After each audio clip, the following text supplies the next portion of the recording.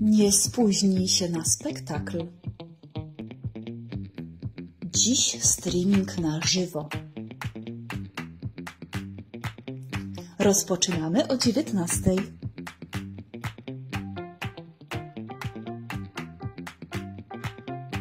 Bądź na czas, by cieszyć się oglądaniem spektaklu w całości i nie stracić ani minuty.